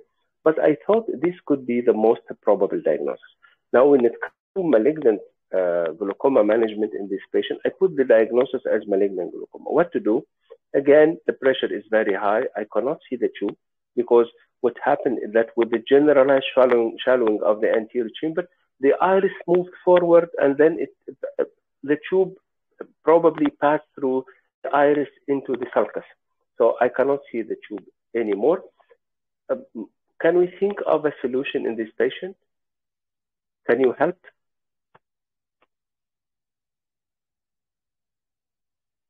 احنا دلوقتي الساعه 11 ونص مساء و يعني it's very difficult to send the patient uh, home for this situation حد ممكن يفكر how to help this patient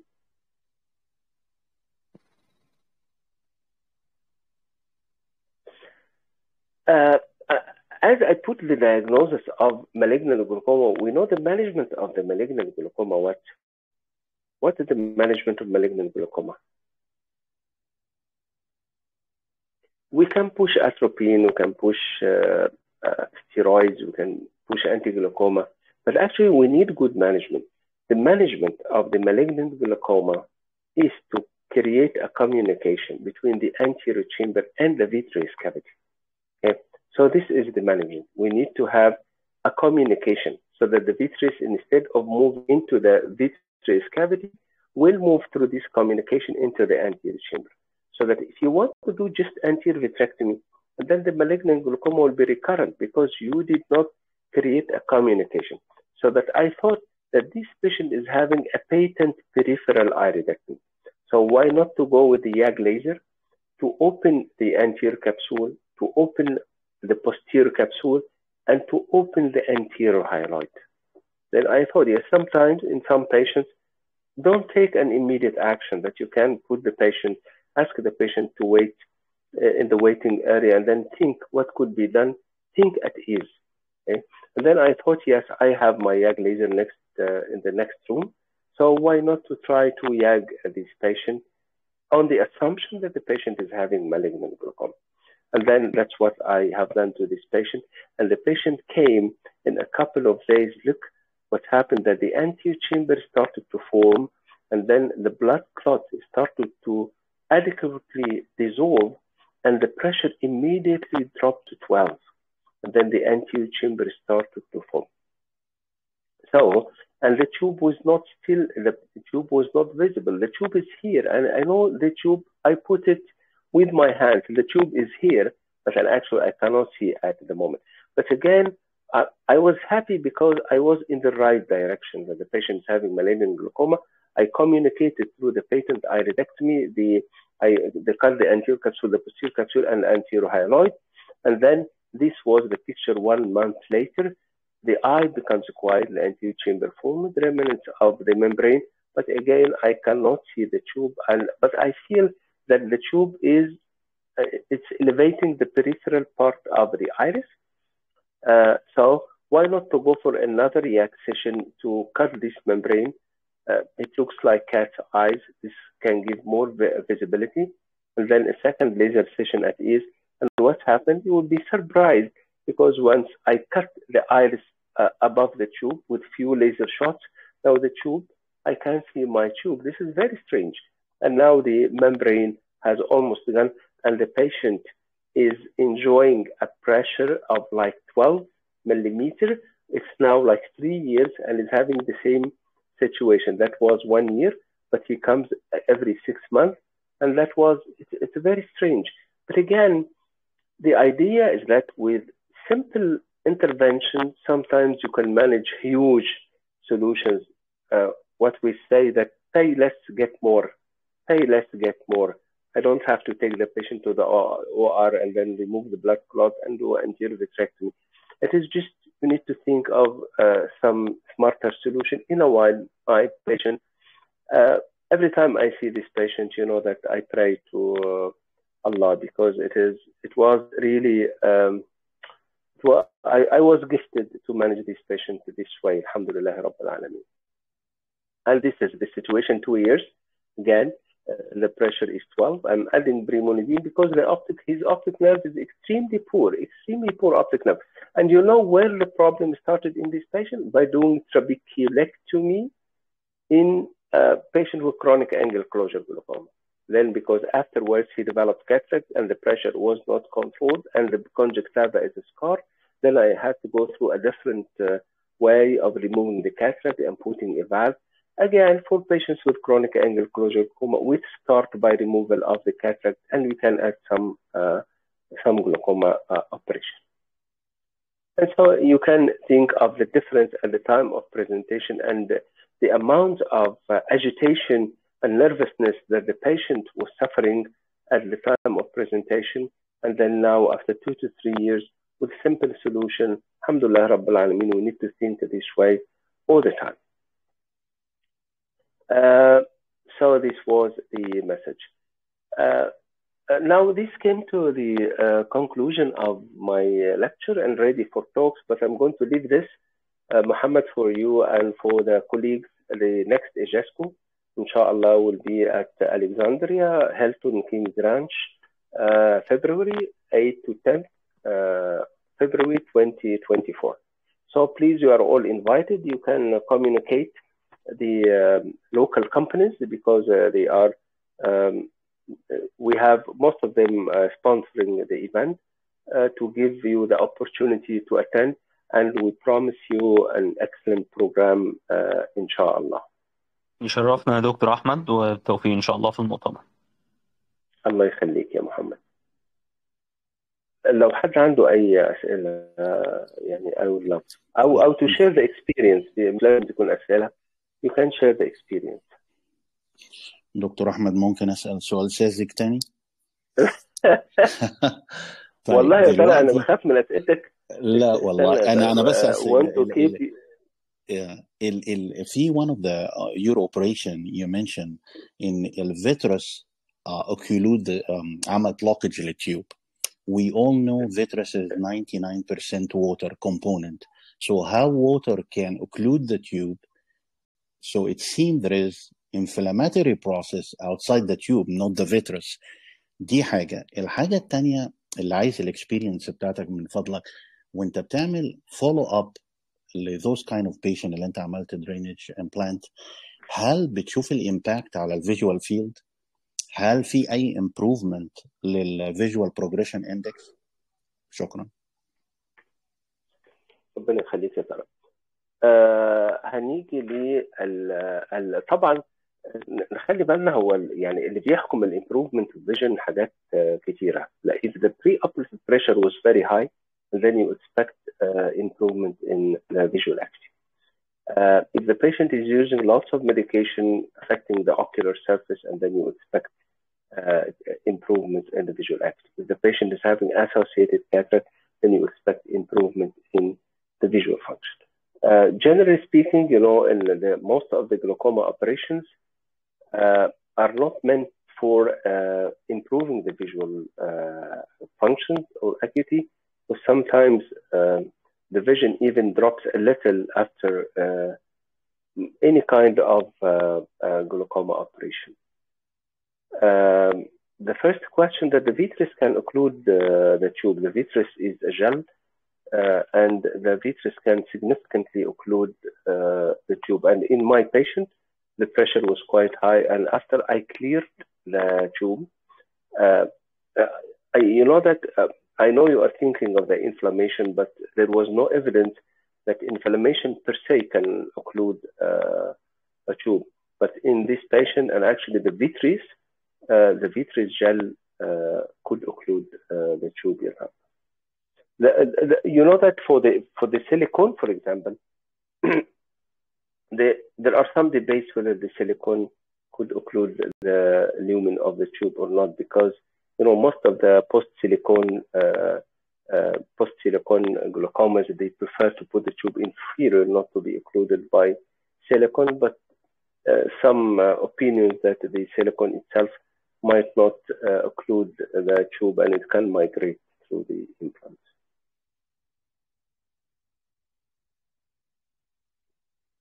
Tariq, you said the visual index, yes? Yeah, the visual Could progression you, index. could you, I know I know could you, the could uh, you, could you explain this يا طارق لو سمحت؟ So احنا لما بنيجي نعمل ال uh, when you're doing the visual field, one of the parameter is the v, uh, VFI, the visual field Ah, I index, see, which I is see. telling telling us if there is a deterioration or improvement. Mm. So I understand see. any glaucoma operation is to preserve what's left. It's not to improve the visual outcome, but what I mean is to think proactive. What is the next step if something failed? What we have to do? We monitor those patients for years. So once you do this operation, do you see like reduction of the VFI or slow in reduction? That's what I meant by the the uh, the one question, uh, the the first uh, question. Thank you, thank you very much, Yatar. And I think that uh, you know that um, uh, I really uh, I haven't seen a patient with uh, you know if the pressure is nicely controlled, you tend to keep investigations a minimum at every year. But to the best of my memory, I don't remember that a patient with valve and controlled pressure uh, has achieved deterioration. But you know, it is just a very personal opinion. مش قادر أجاوبك على a very broad scientific scale.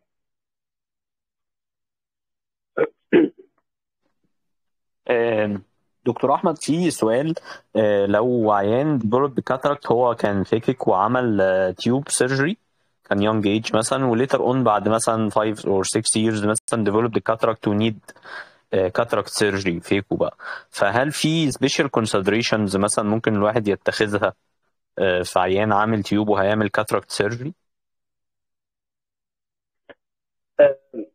يعني الحالات اللي احتاجت كاتراكت يا محمد ما فيش سبيشال بريكوشنز كانت عندي ولكن أحيانا بعتبر ال I think that the cataract surgery is a chance um, uh, to give the valve another push so that if the valve was uh, borderline, you can flush the tube from inside. This could help a better IOP uh, control. Um, the, I think you will choose the, the incision uh, in an area that's not interfering with the, the tube. You can think of some mechanical issues. Uh, but I have few patients with uh, valves, then they required cataract surgery. And at the time of cataract surgery, if there was a problem in the tube, like the patient with congenital glaucoma, I thought that the tube is long touching the cornea. I'm going to manage the uh, tube by uh, making it shorter. Uh, if the pressure is borderline, I'm going to flush the tube. I may get something better. Uh, otherwise, uh, technical issues, no, I haven't met. يعني بخصوص الفلويد داينامكس هل بتinterfere with with irrigation and Uh, usually, uh, uh, after a long time, uh, حتى مع الترابيكيلكتومي uh, ما ما بتلاقيش مثلا جالك shallowing of the anterior chamber uh, ما ب- لأن usually there is significant scarring بتخلي الفلو ما ما- مش ما ت- ما تعملكش loss of the anterior chamber بال, بال لا you still the eye I, I didn't meet a problem مع ال مع ال stability of the anterior chamber في حالة فالف. ولا حتى زي ما لك ولا في حالة ترابيكيلكتومي أو ديب سكليركتومي عادية. لا ما شفتش أم، ما مرش بيا هذا الانسيدنت يعني.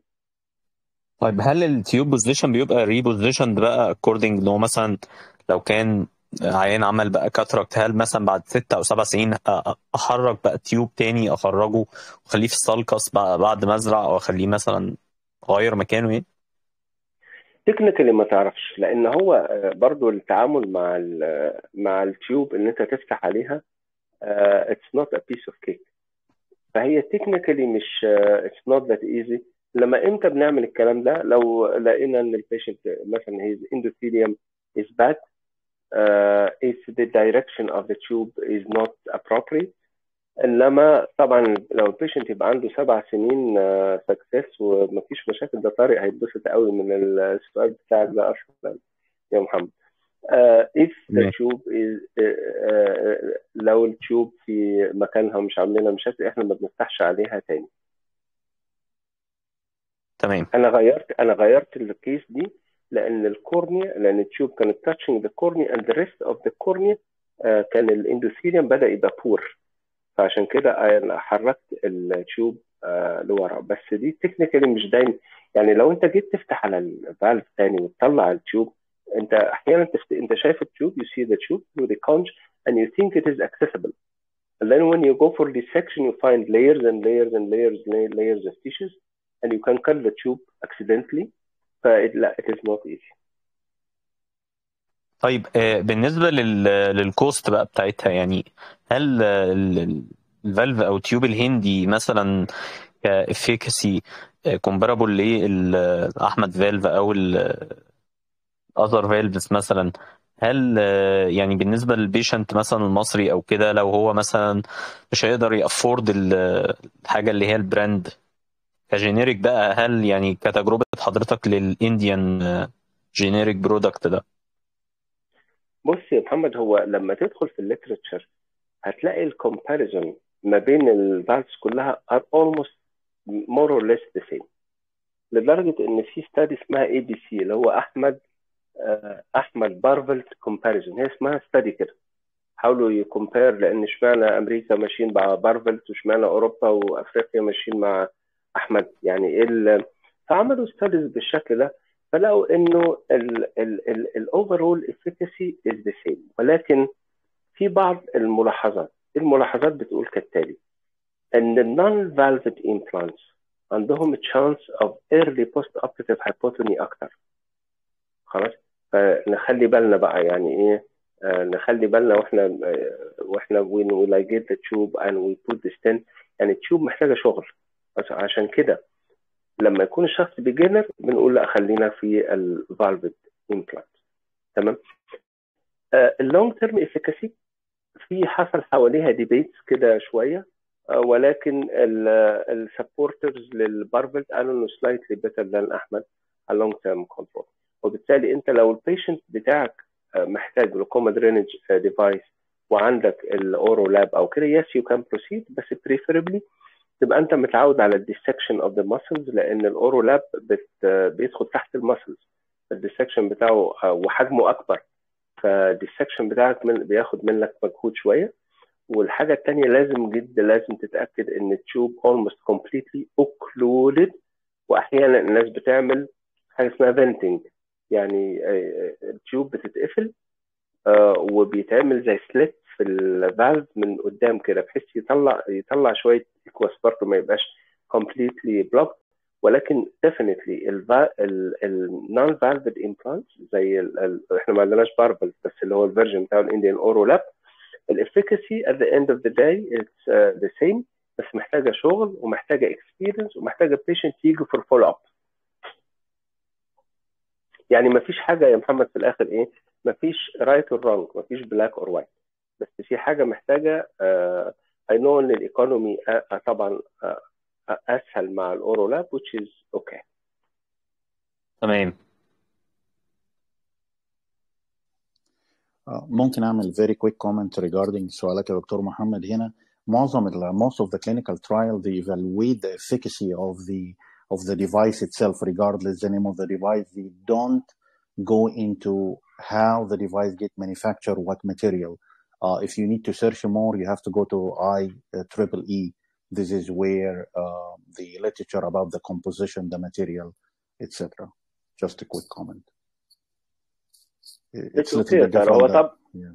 آه طبعا طبعا لا عندك هو طبعا الماتيريالز اتغيرت يعني البريشر كنترول ده بيعتمد على ميكانكس طبعا كتيره السايز اوف ذا امبلانت والماتيريال Yeah. وليه غيروها من بولي بروبايلين لسيليكون في يعني في قصة كده بس الدايركت كويشن يا طارق لمحمد مش غير الاورو لاب نستعمله. يس وي يوز ات but preferably يبقى حد experienced سيرجن مانج إيه، هل في حالات حضرتك احتجت ت- تعمل ال- السيرجري على تو ستيبس يعني ستيب نعمل ال- عشان يحصل زي سيست كده للتينون سيست وبعدين بعد كده تاتش تيوب بعد 3 مانثس مثلا أو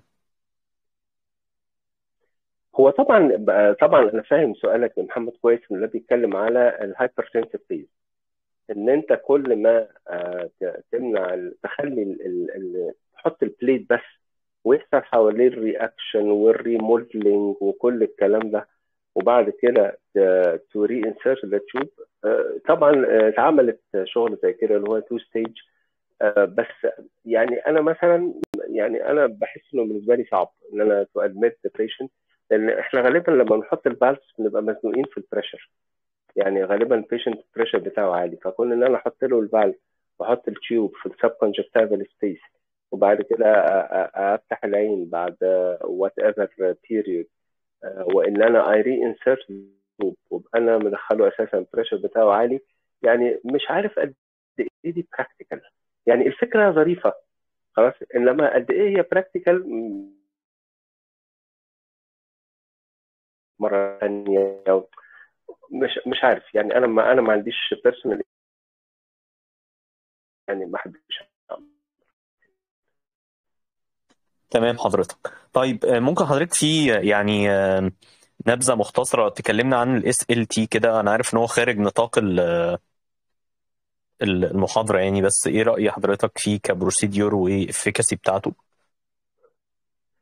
والله يا محمد الاس ال تي طبعا اللي هو سيلكتيف ليزر ترابيكولوبلاستي وهو عشان الناس اللي موجودين ان بريف we treat the trabecular meshwork with a frequency double diag الهدف منه to stimulate the endothelial cells lining trabeculum to have better outflow محصلة ال- ال- ال- اللي بيحصل ريسنتلي ايه؟ ان انت لما بيجي بيشنت عندنا كذا جروب اوف بيشنت بيجي بيشنت ماشي على فول تريتمنت ماشي على كل تريتمنت تعرفه and the pressure is 24 25 and for one reason or another the patient doesn't want to have surgery uh, البيشنت ده نساعده إزاي أحسن؟ أول ما صارت الستاديز قال لك هنعمل له اس ال تي هنعالج الترابيكولار مشور بيدينا some reduction in the intraocular pressure in the range of 20% reduction of the intraocular pressure. الاستاديز بعد كده اتحركت في اتجاه طب أنا لما يجي لي patient recently diagnosed أنا كده قاعد في العيادة جالي patient ظريف جدا البريشر بتاعه 27 الديسك بتاعه معقول مش ما عندوش ادفانسد دامج وما خدش تريتمنت خالص. لو أنا عملت البيشنت ده اس ال تي لو حاجة فيري انترستنج إن الريسبونس بتاعه أحسن إن هو يبقى برايمري تريتمنت ومش الريسبونس بتاعه أحسن بس الريسبونس بتاعه لما يحتاج ري تريتمنت احسن انه في نسبة منهم النسبة من الاس ال تي بيحتاجوا ري تريتمنت ممكن 20 to 30% بيحتاجوا على فترات آه، متفاوتة. الاستادي دي طلعت في انجلترا اللي هو ال اللي هو السيلكتيف ليزر ترابيكولوبلاستي فور ocular hypertension and primary open angle glaucoma. وقالوا إنه الايكونومي بتاعها أحسن وإن اللايف ستايل بتاعها أحسن وكل حاجة أحسن وبدأ يحصل بوش للستادي دي والأمريكا ادوبتد الكلام ده في الميديكير وفي الهيلث سيستمز عندها. بحيث إنه يا ريت إن البيشنت الريسنتلي دايجنوز يتعمل له اس ال تي وتزقه كذا سنة قبل ما قد يحتاج حاجة. أنا في البراكتس بعمل نفس الشيء.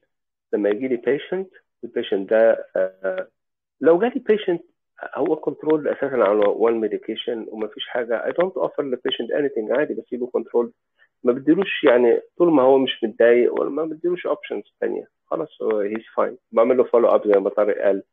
بكل حاجة الفيجوال فيلد اندكس إنما البيشنت الريسنتلي دايجنوز ده أنا فعلا بديله وقت واهتمام إن هو ممكن يستفيد من الاس ال تي آه وفي دكا وفي دكاترة رمد آه كان يعني عندهم بروبلمز هم ذات نفسهم اتعالجوا باس ال تي فهو ظريف للناس اللي ما يكونش عندهم بريشر هاي لأن إحنا لما عملنا الاستادي على الإيجيبشن كان عندنا بعد ثلاث سنين الريدكشن كان 18% فما نختارش بيشنت بقى يكون بريشر بتاعه 35 الأرقام العالية دي ونخلي بالنا إنه يبقى اوبن انجل جلوكوما لأن كان أحيانا برضه بلاقي الناس بتعمل ريفيرال لحالات انجل كلوجر جلوكوما وما فيش أي رول للاس ال تي بالاس ال تي ظريف قوي هيفيدك فيه ثلاث محطات.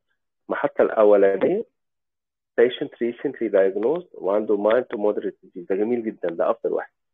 المحطه الثانيه لو patient ماشي على one medication and he wants to stop. المحطه الثالثه the patient عنده multiple medications. When he needs surgery and he doesn't want or she doesn't want surgery. Still SLT ممكن uh, يفيدك uh, كويس. في some uh, يعني debates بقى عن SLT في different types of جلوكوماز جنرالي سبيكينج ما بيبقاش محبب قوي للناس اللي هو البريشر انيشيالي لو ذات نورمال تنشن جلوكوما بس في بعض الناس برضو حاجة ظريفة قوي من نورمال تنشن جلوكوما لما الانترا اوكر بريشر بيقل 2 تو 3 ملم بينقلهم في منطقة سيفر uh, uh, تماما. الجوفينايلز اي دونت اوفر جوفينايلز. جوفينايل اوبن انجل جلوكوما نو I don't offer secondary silicone glaucomas ولا يوفيتك ولا الحاجات دي خالص آه انما ممكن تي الحالات اللي استفيد منه primary open angle glaucoma pseudo exfoliation glaucoma with cautious in uh, pigmentary uh, glaucoma uh, and occasionally in patients with normal tension uh, glaucoma والتكنيك سهل يا محمد انت يمكن تكون عارفه برضه التكنيك هو ابسط حاجة في الموضوع تمام حضرتك. آه، معانا دكتور خالد عوض آه، استشاري آه، في اسك- في رمض اسكندرية وسب سبيشاليتي جلوكوما. آه، حابب برضو يشارك آه، معانا في ال- النقاش. آه، أهلا. يستفسر عن لا هو يفيدنا مش يستفسر يفيدنا. اتفضل يا دكتور. خالد هو هيكتب ال- السؤال بتاعه كتابة عشان هو تقريبا في مشكلة في المايك أو آه آه. أنا أنا أشوف فين يا محمد الأسئلة المكتوبة؟ أنا مش عارف أدوس على إيه. على أشوف ال ال... على الشات بتاع الجروب يعني على الجروب نفسه. آه أوكي. أنا إذا المفروض أطلع من حاجة يعني آه مور مثلا. أنا اللي أنا عندي فيديو سكرين والساوند مور ليف هم دول الموجودين عندي. الشات أنا شايف المجموعه أنا شايف المجموعه فعلا آه خلاص أنا شايف أنا أنا شايفهم آه. دكتور احمد لغايه لما الدكتور محمد يكتب في الشات um, um, بالنسبة للتيوب placement how you you judge it's in the right place away from the cornea uh, طبعا with your experience you depend on the slit lamp do you recommend anterior segment imaging uh, just to judge the position of the tube uh, دي حاجة الحاجة الثانية اللي هي إحنا اتكلمنا على selective laser trabeculostomy I recall there was a light study كان في study بتقول الافكاسي uh, زي ال- الميديكال after medical treatment after 36 months ف uh, this is still the case or things has been changed آه لا ما هو ال- آه آه طارق أنا عايز أرحب بالناس الموجودة. أنا شايف دكتور أسامة النحراوي وشايف مجموعة من الزملاء اللي أنا عارفهم. يعني أشكرهم إن هم معانا ذات ليت يعني you very much. um, how to judge the tube. أنت مهم جدا إن أنت ما تسيبش البيشنت انترا اوبراتيف للجادجمنت بوست اوبراتيف يعني أنت انترا اوبراتيف عارف الدايركشن بتاع التيوب بتاعتك ماشية فين. يمكن يكون أفضل حاجة إن أنت تخلي التيوب آه، ممكن تبقى تاتشنج الآيس.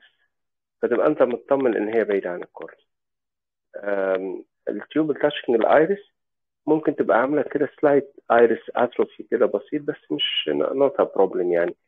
آه، فأنت ما تسيبوش للبوست اوبراتيف وأحيانا بيحصل إن الواحد تو انسرت ذا تيوب then آه، يشعر إن هو لا التيوب مش كده get the tube out and then آه، أعمل another entry لأن نفس الانتري هيؤدي إلى نفس النتيجة. آه، فدي القصة. إن أنت تجادج التيوب بالايمجنج أنت يوجوالي طبعا أنت يو كان سي وذ ايمجنج بس اي ثينك إن أنت عشان تشوفها بالايمجنج الصورة ظريفة إن أنت تشوفها بس ستيل بوسيبل إن كل حاجة تبقى سين كلينيكالي قدام عينيك. و آه، يعني زي ما بقول لك أنا ما أفضلش الواحد يسيب ال- التيوب في وضع هو مش متأكد البوزيشن بتاعها فين آه إنما هتجادج هتلاقي إن لو الدايركشن بتاعها ابنورمال أو الكورنيا فوقيها بدأت يحصل فيها some change you need to manage ده كان التيوب. آه بالنسبة لللايت ستادي اللي هي الليزر ما دي اللي أنا الملخص اللي أنا قلته طارق اللي هو اللايت في الاوكلر هايبرتنشن والاوبن انجل جلوكوما ستيل there is push في اتجاه ال باتجاه البرايمري تريتمنت والريسنت ريزلتس يمكن سمعتها في يمكن امريكان اكاديمي اللي فاتت آه إن لقوا لما الناس بيحتاجوا ري تريتمنت الريزلتس بتاعتهم أفضل من إن واحد يتعمل له ري تريتمنت وكان اوريدي اون ميديكيشن يعني بدأوا يطلعوا كده انت عارف كل ما الترايل بتمتد كل ما بيطلع منها آه، نتائج. فستيل uh, in this uh, direction. وبناء على كده في بوش لدرجه إن طلع دلوقتي الدايركت اس ال تي اللي هو بيتعمل في 1 سكند اللي هو treating the whole circumference in 1 second. ال 100 shots بيطلعوا at the same time to treat the limbus externally مش internally. آه، في برضه بوش في الاتجاه ده كوميرشال بوش في الاتجاه. عليكم دكتور أحمد. أهلا وسهلا. خالد عوض من اسكندرية. أهلا دكتور خالد أه- حضرتك أهلا؟ أهلا. وسهلا. أهلا وسهلا. حابب أشكرك على المحاضرة الممتعة وال- والرائعة دي وسهرناك معلش. آه، بس كان عندي والله سؤالين. الله يكرمك يا خالد. الله يكرمك. اتفضل السؤال الأولاني على ال- الطريقة اللي حضرتك بتعملها اللي هي ال- البوكيتس دي وأنا سمعتها مع حضرتك قبل كده أو البوكيت أند فلاب يعني. تريبل آه تانل تريبل تانل آه، الطن الطن بالظبط. ال- حضرتك بتفضلها علشان آه، علشان بس الكومفورتابيلتي بتاعت البيشنت ولا الأفيلابيلتي بتاعت الجرافت مثلا اللي هي يعني ليه حضرتك مش بتفضل الجرافت مع إن هي ممكن تكون تكنيكالي أسهل بالذات آه، للي مش اكسبرت قوي في ال- في القصة بتاعت ال- الفالف دي. الحاجة التانية البول امبلانت حضرتك آه، آه، جربته أو عندك اكسبيرينس له؟ لأن الاستاديز دلوقتي كلها على البول امبلانت وفي ال في الاسكرز اللي فات ده. يعني كذا استادي وكذا محاضرة كانت بتتكلم عليه وعلى الريزلتس بتاعته إن هو أفضل كتير من بقية الامبلانتس على الأقل النون فالفد يعني علشان أو مقارنة بالنون فالفد علشان التيوب سايز بتاعه واليومن سايز وال والهايبوتوني أقل وكده. فكنت عايز أعرف خبرة حضرتك في الموضوع ده أو رأيك لأن أنا سمعت إن هو خلاص يعني تو بي ريجسترد في مصر وهيبقى افيلابل قريب جدا في السوق المصري إن شاء الله. صح ربنا يكرمك يا خالد. بالنسبة لسؤالك الأولاني ليه آه، أنا بحب التريبل تانل بحب التريبل تانل لأن بحب I place the the valve وبالتالي أنا عندي long آه، التيوب في الآخر لما بنيجي نترم منها آه، أنا في التكنيك ده الجزء اللي بعمله تريمنج صغير جدا أصلا. يعني of the tube بتبقى وأحيانا حاجات لا تذكر. يبقى ال- الهدف إن أنا أرجع البليت ورا. لما برجع البليت ورا قوي إن أنا أسيب ال- التيوب اكسبوز كل هذه الديستنس يعني آه، ما ما كنتش متوقع إن أنا أحط امبلانت يغطي معظم القصة دي. عشان كده قررت إن أنا آه، أعمل لها بارينج انسايد ليس كلير إنما آه، برضو أنا هرجعك لعنوان المحاضرة إن هي شيرنج ذا اكسبيرينس إن هي مش آه، ما فيش رايت اور رونج في كل واحد أحيانا بتنجح في في إيده تكنيك بشكل معين. إنما ده التكنيك اللي أنا إن أنا آه، ارتحت له واللي إحنا دلوقتي إن شاء الله ربنا ييسر لنا الحال. قريبا عندنا عدد كبير من الحالات وبنعمل ديزايننج للداتا بتاعته.